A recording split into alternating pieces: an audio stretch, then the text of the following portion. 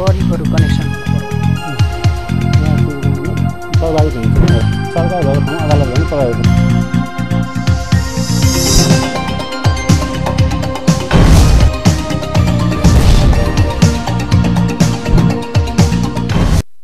इलाहाबाद चाहिँ उच्च अदालत छ। नमस्कार। आदरणीय दर्शक महानुभावहरू बुद्ध सामुदायिक टेलिभिजनको कार्यक्रम बुद्ध राइजमा यहाँहरूलाई हार्दिक स्वागत छ। हरेक दिन फरक फरक विषय र फरक फरक अतिथिका साथमा उपस्थित हुने गर्छौँ। आजको यो नयाँ श्रृङ्खलामा पनि हामी यस्तै नयाँ चासो र सरोकारको विषयका साथमा अतिथिसँगै उपस्थित भइसकेका छौँ। आज हामी चर्चा गर्दैछौँ कि प्रदेश सरकारको निर्माणको चरण अगाडि बढिसकेको छ र अब हामी कहाँ तिन तहको सरकार निर्माणको अनुभव र त्यसको प्रत्यक्ष भोगाई हामीले भोग्दैछौँ। यो अवस्थामा तिन तहको सरकार केन्द्र सरकार प्रदेश सरकार र स्थानीय सरकार र यी तहका लागि आवश्यक पर्ने आर्थिक का सन्दर्भमा पनि आज हामी चर्चा गर्दैछौँ।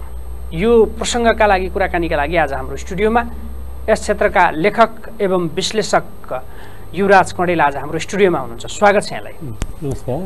आरामै हुनुहुन्छ। हामी तिन तहको सरकारी अभ्यास गर्दैछौँ होइन? नेपाल सङ्घीय संरचनामा गइसके पछाडि पहिला पनि स्थानीय तहको अनुभव त हो तर यति धेरै अधिकारसहितको स्थानीय तह यो पनि थिएन। भनेपछि नागरिकहरू तिन तहका सरकारको अभ्यास गर्दाखेरि छिट्टै समुन्नत भइहालिन्छ आर्थिक समृद्धि हुन्छ हाम्रो भनिहाल्ने अवस्था छ कि छैन? मूलत जस्तै हामीले पहिला के थियो भन्दा विकेन्द्रीकरणको अभ्यास गरेका हौँ हामी विकेन्द्रीकरणबाट आएका हौँ। पहिला स्थानीय तह नभएर स्थानीय निकाय हो। राज्यले केन्द्रले गरेका कामहरूलाई त्यसलाई लागू गराउने र जनताको केही कुराहरू माथि पुऱ्याउने निकायको रूपमा मात्र स्थानीय निकाय थियो। अनि अहिले के छ भने अहिलेको संविधानले यसलाई स्थानीय सरकारको रूपमा परिकल्पना गरेको छ। अझ भनियो भने सिंहदरबार घर घरमा। घर घर। भन्ने चाहिँ कल्पना गरियो। त्यो हिसाबले गर्दा यो स्थानीय तह आफैमा एउटा स्थानीय सरकार हो त स्थानीय सरकार हुनको लागि यसका सम्पूर्ण अङ्गहरू चाहिँ जुन केन्द्रमा भएका अङ्गहरू जस्तै नाम नहोला मन्त्री नहोला तर ती अङ्गहरू स्थानीय तहमा स्वाभाविक रूपमा चाहिँ हुन्छन्। त्यसले गर्दा यो अधिकार मात्र दिएको हो र एउटा बाटो हो र स्थानीय तहमा स्थानीय सरकारलाई अधिकार दिँदैमा यो एकदमै समुन्नत यही अवस्थामा यिनी साधन स्रोतहरूले समुन्नत भइहाल्छ वा हामीले सिङ्गापुर भइहाल्छ भन्ने अवस्था चाहिँ होइन पक्कै पनि। भने पछाडि हामीले चाहिँ फरक व्यवस्थाको परिकल्पना चाहिँ गऱ्यौँ होइन। त्यसका लागि आवश्यक अर्थव्यवस्थापनको परिकल्पना चाहिँ कस्तो छ?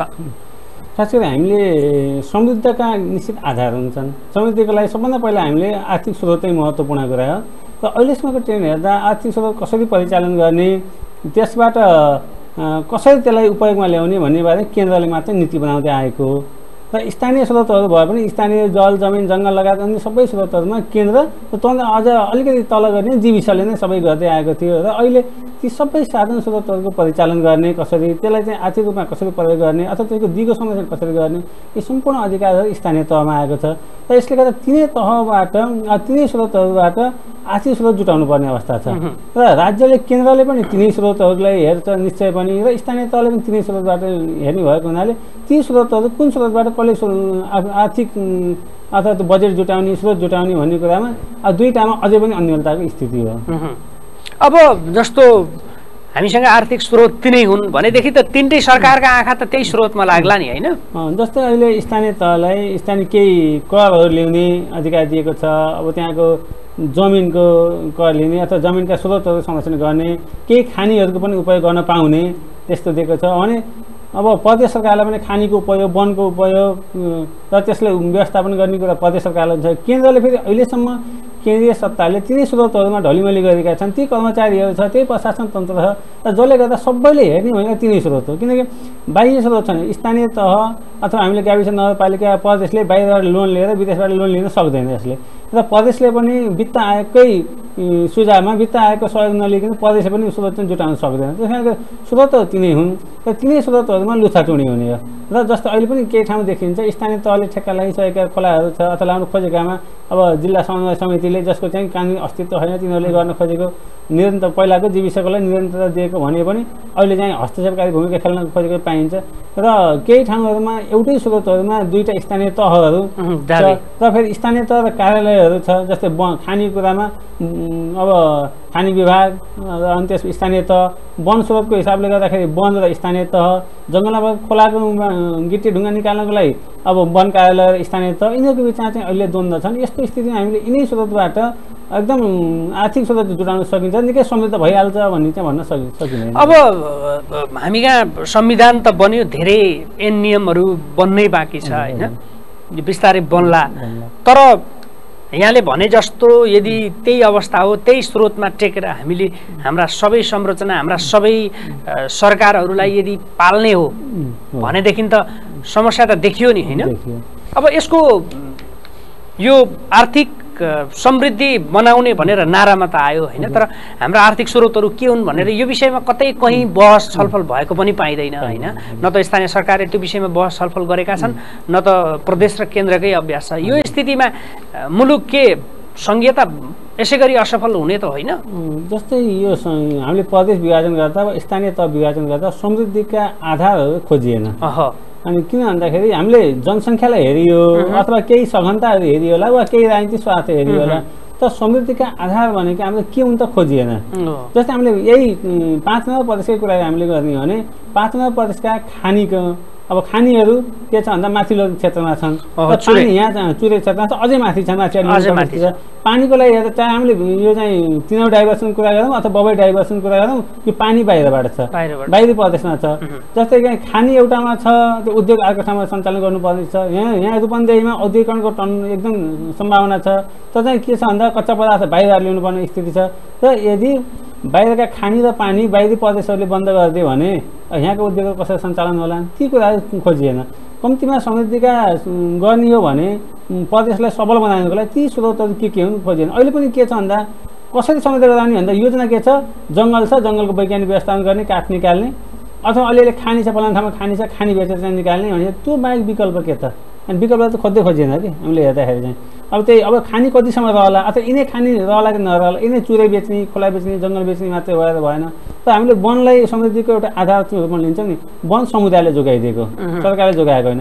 समुदायले यति दुःख गरेर जोगाएको जङ्गललाई त्यहाँबाट लाभ लिनको लागि स्थानीय तह वा प्रदेश तहले अहिले भर्खर लाभ लिन खोज्यो भने समुदायले दिँदैन। ठुलो द्वन्द्व चाहिँ हुन्छ। अनि त्यहाँनिर पनि रोक छ। अनि अरू सूचक होइन खेतीपाती छ कृषिमा आधुनिकता खोजिएको चाहिँ छैन। अब अलिक कृषिलाई समृद्ध बनाउने निर्णयको कसै घोषणापत्रमा होला। तर चाहिँ पहाडी क्षेत्रमा भएको अब जडीबुटीको कुराहरू चाहिँ हुन्छ पर्यटनको कुराहरू यसलाई समृद्धिको आधार बनाउन किन खोजिएन? अनि किनै किनै अहिलेसम्म देखिएका जुन केन्द्रीय सत्ताले लिएका ए खानी अथवा चाहिँ ए पानी ए जङ्गल यिनीलाई मात्रै लिएर समृद्धि चाहिँ हुन सक्दैन। अब कतिपय स्थानीय प्रमुखहरूले चाहिँ हामी कहाँ तमाम डाँडा काँडाहरू छन् एक डाँडा काँडा बेचेरै भए पनि मैले मेरो सरकार चाहिँ सञ्चालन गर्छु मेरो जनतालाई समृद्धि दिन्छु विकास दिन्छु भनेर भनेका छन्। त त्यति सजिलो छ र? छैन। निश्चय पनि किन छैन भन्दा तत्कालै मैले खोला निकालौँला खोलाबाट एक दुई वर्ष गिटी निकालौँला ढुङ्गा निकालौँला वा काठ निकालौँला त्यसपछि के पाँच वर्षपछि? त्यो एउटा त त्यसै पनि भएन। अर्को कुरा के छ भन्दा निकाल्न त्यति सहज छैन। राष्ट्रिय कानुनहरू हुन्छ अन्तर्राष्ट्रिय कानुनहरू चाहिँ छ अभ्यासहरू छ अनि जनताको जीवनयापनसित प्रत्यक्ष त्यसले सम्बन्ध राख्छ। त्यस कारण निकाल्छु भन्न चाहिँ सजिलो हो र वैज्ञानिक ढङ्गले निकाले दिगो किसिमले विकास गर्न सम्भव छैन। सुरुमा गर्न सकिन्छ हलो काटी मुङ्ग्रो भन्ने छ आवश्यक हलो काट्न सकिन्छ तर त्यसलाई दिगो पछि खेत जोत्ने बेला केले जोत्ने? ती कुराहरू चाहिँ पनि ख्याल गर्नुपर्छ। त्यस कारणले भन्न जति सजिलो छ अहिले त जनप्रतिनिधिहरूको पहिलो एक दुई वर्ष त स्रोतहरूको खोजी गर्न बित्नुपर्ने हो। र यहाँ समृद्ध गर्ने मात्र समृद्धिको कुरा हान स्रोत के हो समृद्धि छ भने स्रोत के हो थाहा छैन। छलफलै छैन। छलफलै छैन। राज्यले पठायो होला केही करोड पठायो होला। हेर्दा रकम हो तर त्यही पैसाबाट एउटा गाडी र घर बनाउला गाडी घर बनाउला कर्मचारीलाई त्यही पैसाबाट दिनुपर्छ विद्यार्थी छात्रीले त्यही पैसाले दिने हो शिक्षालाई तलब त्यही पैसाले दिने हो रकम ठुलो देखिएछ तर केही पनि होइन। त्यो रकम पहिला केन्द्रबाट सिधै आउँथ्यो। अहिले त्यो बाटो हुँदै आएको त्यो बाटो एकैछिन राख्न दिएको। राख्न दिँदाखेरि म एकदम सम्पन्न छु मसँग धनी छु भन्ने ठानेको मात्रै हो। वास्तवमा अवस्थामा कुनै किसिमको चाहिँ परिवर्तन चाहिँ छैन। अब बजेट त पहिला चाहिँ माथिबाट आउँथ्यो होइन अब त तलबाट माथि जानु पर्यो नि त। होइन हेर्दाखेरि यस्तो तलबाट माथि जाने तलका स्रोतहरू तलैकाले चलाएपछि। चलाउन पर्ने हो। तर अङ्कुश छ। प्रदेश केन्द्र उसको साझ जहाँबाट अलिकति आउन सक्छ दीर्घकालीन रूपमा आर्थिक स्रोत बन्न सक्छ त्यसलाई स्थानीय तहलाई दिएको छैन। र त्यसलाई। मोटा स्रोतहरूलाई त्यहाँ बाँडिएको छ। अनि त्यस कारणले गर्दाखेरि त्यो बाँडिएको बाँडिएको पनि के छ भन्दा अब प्रदेश सरकार त केही पनि छैन। पहिलाको जीविस जति पनि प्रदेश सरकार केही पनि होइन। अब प्रदेश सरकार भन्ने मात्रै प्रदेश सरकार कोअर्डिनेसन गर्ने किनकि स्रोतहरूलाई स्थानीय स्रोतहरूलाई स्थानीयले उपयोग गर्न पाउँछ तपाईँले भनिदिएको छ। र ठुला स्रोतहरूलाई राज्यले केन्द्रले गर्छ? त्यस कारणले प्रदेश सरकारको हातमा केही पनि होइन। र हुन्छ हामी ठुला हौँ अब सरकार बराबर हौँ भनेर भोलि स्थानीय तहका स्रोतमाथि पनि कानुन बनाउन रोक्ने। तर त्यसले के गर्छ? द्वन्द्व निम्त्याउँछ अहँ। होइन, द्वन्द्व निम्ति निश्चित छ भनेपछि त प्रदेश सरकारले अझ सङ्कटमा त प्रदेश सरकार पर्छ। स्थानीय तह त स्थानीय स्रोतबाट साधनबाट चल्छ साना आवश्यकता हुन्छन्। प्रदेशको आवश्यकता कसरी पुरा गर्छन् त भन्ने बारे अझै एउटा खाका चाहिँ आएको छैन। प्रदेश सरकार चाहिँ प्रदेशको संरचना चाहिँ अन्यलमै छ। अन्यलमा छ। नयाँ पनि भयो सबै नयाँ पनि भयो अनि त्यसपछि के हो हामीले सबै गर्ने अब सक्ने नसक्ने कामहरू जति वाचा गरिएका छन् हाम्रो कार्यक्षेत्र हो कि होइन ती कुराहरू चाहिँ हेरेको छैन। र कार्यक्षेत्र भए पनि अब त्यसलाई हामीले गर्न सक्ने हो कि होइन? केन्द्रले कति गर्ने हो भनिन्छ। किनकि एउटा समस्या के छ भने स्थानीय तहहरू असा साउनबाट लागू भए स्थानीय तहले कानुन बनाइसकेछ साधन स्रोत उपयोग गर्न थालिसकेको छ भने अब केन्द्र सरकारको के प्रदेश सरकारको टुङ्गो छैन। अनि यस्तो अवस्थामा त्यसले कानुन बनाएर स्थानीय तहको स्थानीय सरकारका स्रोत साधनमा अङ्कुश लगाउन थाल्यो भने त स्वाभाविक विरोध आइहाल्छ नि। अनि त्यसको स्रोत कहाँबाट जुटाउने? प्रदेश सरकार कसरी पाल्ने? आफू पालिने पनि समस्या छ भने समृद्धि त कहाँबाट? प्रदेश सरकार त यसो हेर्दाखेरि त स्थानीय क्षेत्रमा हुने कार्यक्रमहरूमा आसन गरन र भाषण गरन भन्दा देखिएन त होइन? स्रोत साधनका हिसाबले। स्रोत साधनको हिसाबले देखिएन। किन पोलिसी मेकिङ हो? पोलिसी राम्रो समन्वयकारी भूमिका खेल्न सक्यो भने विकल्प खोजिदिनुपर्छ स्थानीय तहलाई। जुन जनताले प्रयोग गरिरहेका स्थानीय विकासका कामहरू जति छन् त्यसको लागि स्रोतहरू त्यहाँ जुटाइदिने र स्रोत सम्भावित त्यहाँ मात्रै खोज्न सकिन्छ। थुप्रै छ नि। हामी स्रोत नभएका चाहिँ होइन नि। हामीले देख्ने गरेर खाने र पानी र जङ्गल मात्र अहँ। देखेर मात्रै हो।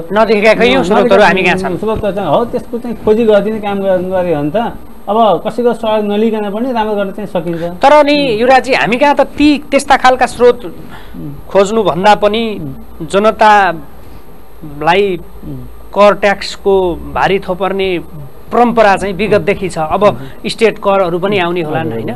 के कतिसम्म गर्न सक्छ? जस्तो अहिले हेर्ने नि हेर्दा अनौठो लाग्छ नगरपालिका भइसकेछ घरमा टेलिभिजनको मोटरसाइकल कर लिन्छ। योमा चाहिँ हामी कुन शताब्दीमा छौँ। भन्ने कुराले देखाउँछ। त्यही कारणले अहिलेसम्म नगरपालिका हुनुको अनुभूति भनेको कर बढ्यो।